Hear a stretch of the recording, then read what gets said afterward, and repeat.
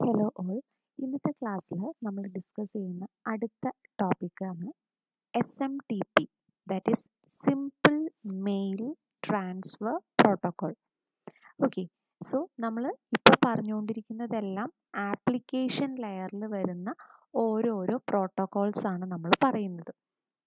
ഇപ്പം നമ്മൾ F T P പറഞ്ഞു ടെൽനെറ്റ് പറഞ്ഞു ഇല്ലേ? ദറ്റ് ഈസ് ആപ്ലിക്കേഷൻ ലെയറിൽ വരുന്ന പ്രോട്ടോക്കോൾസ് ആണ് ഇതെല്ലാം. അതിന്റെ കൂടെ വരുന്ന അടുത്ത പ്രോട്ടോക്കോളാണ് S M T P simple mail transfer protocol so ആ പേര് കേൾക്കുമ്പോൾ തന്നെ അറിയാം ഈ എസ് എം ടി പി എന്ന് പറയുന്ന പ്രോട്ടോക്കോൾ നമ്മൾ മെയിൽ കമ്പോസ് ചെയ്യാൻ അല്ലെങ്കിൽ മെയിലുകൾ അയക്കാൻ വേണ്ടിയിട്ട് ഒരു യൂസറിനെ ഹെൽപ്പ് ചെയ്യുന്ന പ്രോട്ടോക്കോളാണ് സോ നമ്മൾ പറഞ്ഞിട്ടുണ്ടായിരുന്നു ആപ്ലിക്കേഷൻ ലെയറിൽ വരുന്ന പ്രോട്ടോക്കോൾ എന്ന് പറഞ്ഞാൽ ആ പ്രോട്ടോക്കോൾസ് എല്ലാം ഡയറക്റ്റ് യൂസറിന് കുറച്ച് സപ്പോർട്ട്സ് ഡയറക്റ്റ്ലി യൂസറിന് സപ്പോർട്ട് തരുന്ന പ്രോട്ടോക്കോൾസ് ആണ് വരുന്നത്. ഓക്കെ. സോ നമുക്കറിയാലോ നമ്മളിപ്പം ആരും ഉണ്ടാവില്ല. ഒരു മെയിൽ അയക്കാത്ത ആൾക്കാരല്ലേ? സോ യൂസറിന് മെയിൽ അയക്കാൻ വേണ്ടിയിട്ട് അല്ലെങ്കിൽ എങ്ങനെയാണ് ഒരു മെയിലിനെ കമ്പോസ് ചെയ്യുക? എങ്ങനെയാണ് ഈ മെയിലിനെ ട്രാൻസ്ഫർ ചെയ്യുക? അങ്ങനെയുള്ള എല്ലാ കാര്യങ്ങളും ഡീൽ ചെയ്യുന്നത് ഈ എസ് എം ടി പി എന്ന് പറയുന്ന പ്രോട്ടോക്കോൾ ആണ്. ഓക്കെ സോ ഇവിടെ ഞാൻ ഹൈലൈറ്റ് ചെയ്തിട്ടുണ്ട്. S M T P is a set of communication guidelines that allow software to transmit an electronic mail electronic mail എന്ന് പറഞ്ഞാൽ എന്താണ്? ഇമെയിൽ ഓക്കെ സോ ഒരു ഇമെയിലിനെ എങ്ങനെ ട്രാൻസ്ഫർ ചെയ്യും ഓവർ ഇന്റർനെറ്റ് ആ കാര്യമാണ് എസ് എം ടി പി എന്ന് പറയുന്ന പ്രോട്ടോക്കോൾ ഡീൽ ചെയ്യുന്നത്. ഓക്കെ സോ എങ്ങനെയാണ് എസ് എം ടി പി എന്ന് പറയുന്ന പ്രോട്ടോക്കോൾ ഇത് ഹാൻഡിൽ ചെയ്യുന്നത് എന്നാണ് നമ്മൾ നോക്കാൻ പോകുന്നത് സോ നമുക്കറിയാം നമ്മൾ എന്താണ് ചെയ്യുന്നത്? യൂഷ്വലി ഒരു മെയിൽ കമ്പോസ് ചെയ്യും. ദെൻ ആർക്കാണോ അയക്കേണ്ടത്? അയാളുടെ ഐ ഡി അവിടെ അടിച്ചു കൊടുക്കും. ദെൻ നമ്മൾ സെൻഡ് എന്നുള്ള ബട്ടൺ പ്രസ് ചെയ്യും. നമ്മൾ അത്രേ ചെയ്യുന്നുള്ളൂ. അല്ലേ? സോ എങ്ങനെയാണ് നമ്മളിത് ചെയ്യുമ്പോൾ മെയിൽ പ്രോപ്പറായിട്ട് ആ റിസീവറിലേക്ക് അവിടെ എത്തുന്നത്? അതാണ് നമ്മൾ കാണാൻ വേണ്ടി പോകുന്നത്. ബിഫോർ ദാറ്റ് ഒരു കാര്യം കൂടി. Main purpose of S M T P എന്ന് പറയുന്നത് as used to set up communication rules between servers അതായത് ഇപ്പം ഞാനൊരു ഐ ഡി അടിച്ചു കൊടുക്കുകയാണ് അതായത് ഇപ്പോൾ for example example at Gmail dot com എന്ന് പറഞ്ഞ് ഞാനൊരു മെയിൽ ഐ ഡി അടിച്ചു കൊടുക്കുമ്പോൾ ആ ജിമെയിൽ എന്ന് പറയുന്ന സെർവറിനെ അത് ഐഡന്റിഫൈ ചെയ്യണം. അല്ലെങ്കിൽ ജിമെയിലിന്റെ സെർവറിനെ ഐഡന്റിഫൈ ചെയ്യണം. അല്ലേ?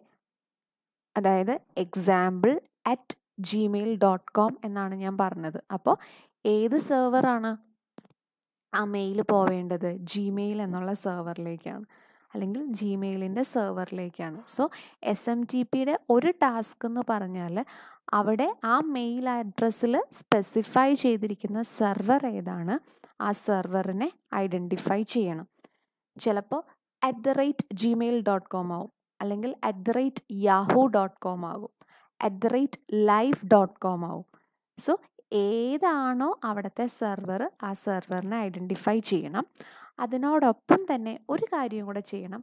ചിലപ്പോൾ നിങ്ങൾ കണ്ടിട്ടുണ്ടാവും നമ്മൾ മെയിൽ അയക്കുമ്പോൾ ചിലപ്പോൾ നമ്മൾ ഈ റിസീവറിന്റെ അഡ്രസ്സ് എഴുതുമ്പോൾ ചിലപ്പോൾ എന്തെങ്കിലും ഒരു മിസ്റ്റേക്ക് വന്നു എന്ന് വിചാരിക്കുക അതായത് ഇപ്പോൾ നിങ്ങൾ at the rate Gmail G M A I L dot com. ആ അവിടെ നിങ്ങൾ ആ എൽ ഇടാൻ വിട്ടുപോയി എന്ന് വിചാരിക്കുക ഓക്കെ. അങ്ങനെ സംഭവിച്ചാൽ നിങ്ങൾ മെയിൽ അയക്കാൻ വേണ്ടി മെയിലൊക്കെ കമ്പോസ് ചെയ്ത് കഴിഞ്ഞ് ആ സെൻഡ് എന്നുള്ള ബട്ടൺ പ്രസ് ചെയ്യാൻ നേരത്ത് ഉടനടി അവിടെ കാണിക്കും. അതായത് ഈ ഇമെയിൽ അഡ്രസ്സ് ഇൻവാലിഡ് ആണ് എന്ന് പറഞ്ഞുകൊണ്ട് അല്ലെങ്കിൽ ഈ ഇമെയിൽ അഡ്രസ്സ് റോങ് ആണ് എന്ന് പറഞ്ഞുകൊണ്ട് മനസ്സിലാവുന്നുണ്ടോ? നിങ്ങൾ എൻകൗണ്ടർ ചെയ്തിട്ടുണ്ടോ. അതായത് നമ്മൾ തെറ്റായിട്ടൊരു മെയിൽ ഐ ഡി കൊടുത്തു കഴിഞ്ഞാൽ ആ മെയിൽ സെൻഡ് ആവില്ല. അപ്പം തന്നെ അതവിടെ മെസ്സേജ് ആയിട്ട് കാണിക്കും. നിങ്ങൾ സ്പെസിഫൈ ചെയ്തിരിക്കുന്ന അഡ്രസ്സ് തെറ്റാണ്. അപ്പോൾ നിങ്ങൾ അയച്ച അഡ്രസ്സ് തെറ്റാണ് എന്ന് സ്പെസിഫൈ ചെയ്യുന്നത്.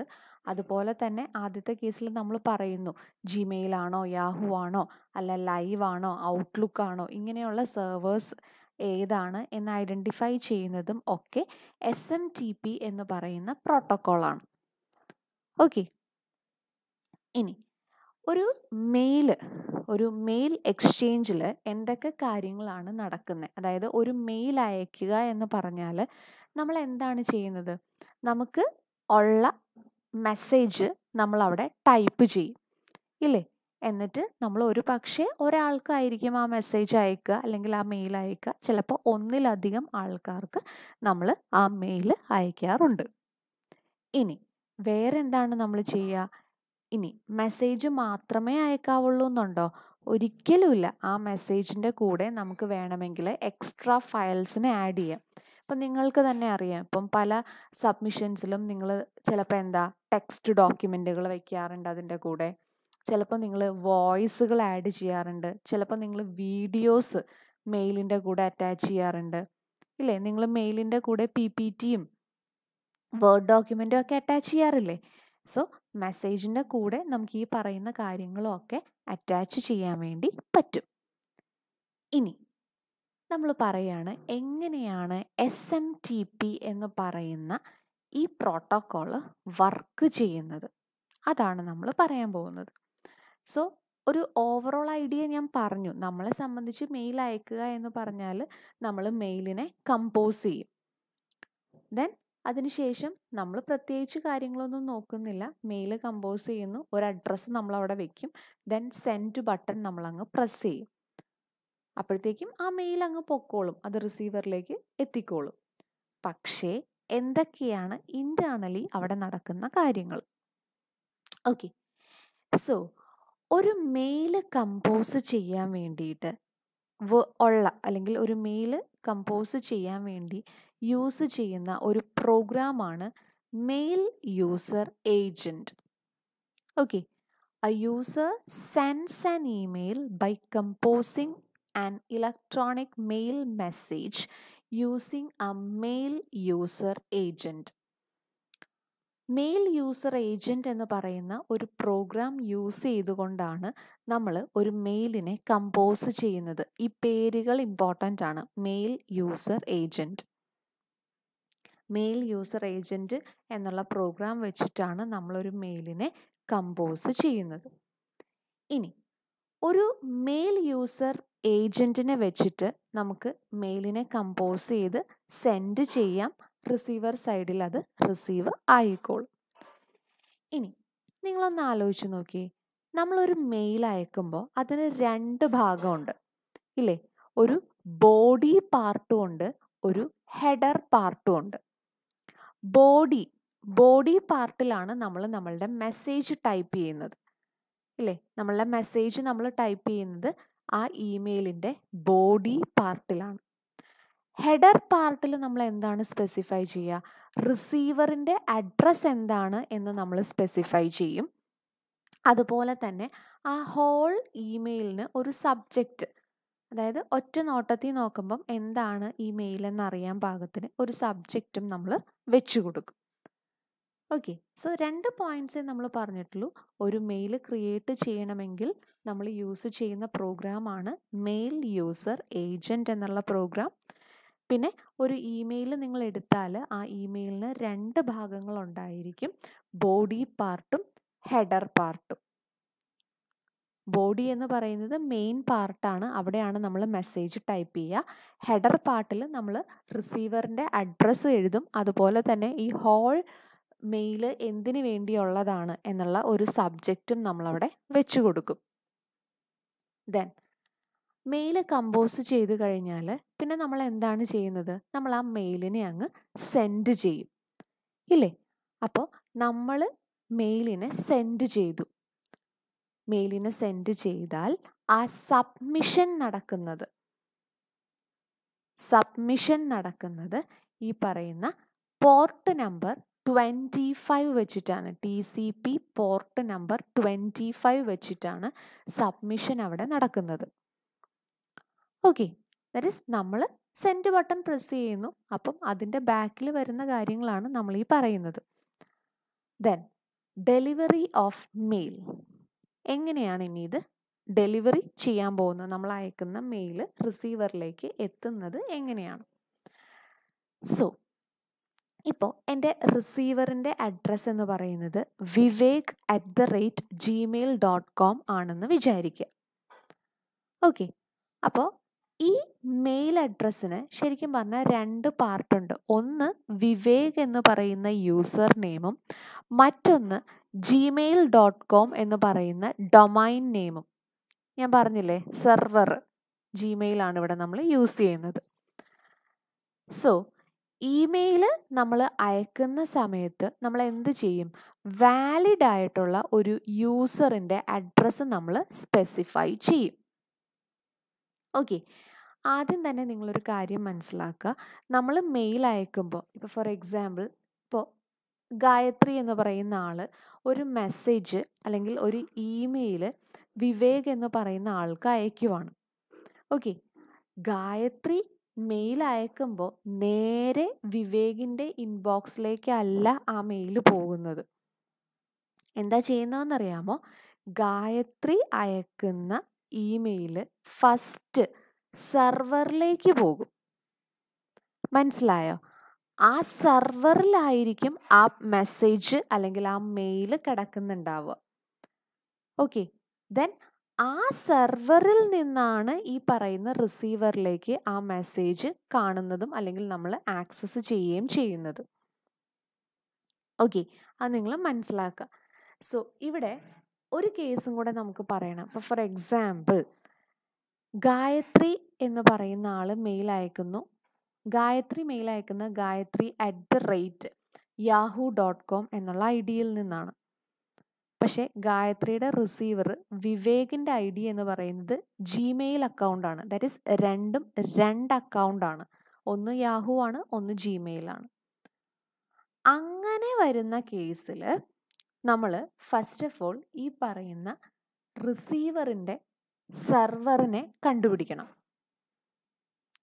മനസ്സിലായോ? ഒരാൾ യാഹു ഡോട്ട് കോമും മറ്റേയാൾ ജിമെയിൽ ഡോട്ട് കോമും ആണെങ്കിൽ രണ്ടും രണ്ട് ഡൊമൈനിലാണ് നിൽക്കുന്നത് അങ്ങനെയുള്ള സമയത്ത് ഈ ഡൊമൈൻ ഡിഫറെന്റ് ആവുന്ന കേസിൽ we have to use another program that is mail transfer agent if the domain name of the recipient's email address is different from sender's domain name, then mail server agent will send mail to mail transfer agent അതായത് domain name different ആണെങ്കിൽ mail transfer ഏജന്റിനെ എടുക്കണം mail transfer agent വഴി മാത്രമേ mail പോകുള്ളൂ then receipt and processing of mail.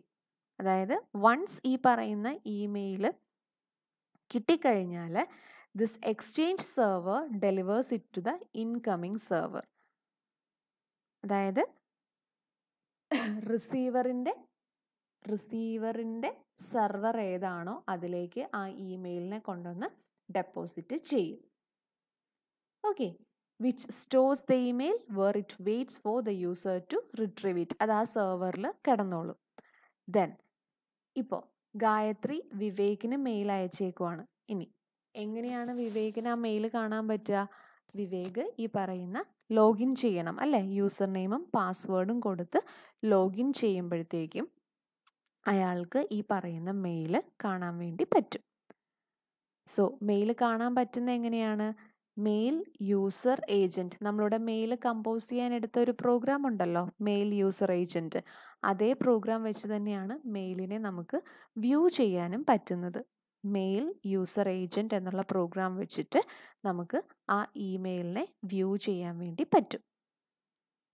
മനസ്സിലായോ? So mail user agent എന്നുള്ള പ്രോഗ്രാമിലേക്ക് നമ്മൾ എത്തണമെങ്കിൽ കറക്റ്റായിട്ട് നമ്മൾ യൂസർ നെയിമും പാസ്വേഡും കൊടുത്ത് പോകണം ജസ്റ്റ് ഡയഗ്രമാറ്റിക് എക്സ്പ്ലനേഷൻ കൊടുക്കുകയാണ് components of S M T P നോക്ക് ഇവിടെ ഒരു സെന്റർ സൈഡ് ഉണ്ട് ഇവിടെ ഒരു റിസീവർ സൈഡ് കാണും. They are connected over internet കണ്ടോ? ഇവിടെ സെന്ററാണ് ഇവിടെ റിസീവർ ആണ് എന്ന് വിചാരിക്കുക.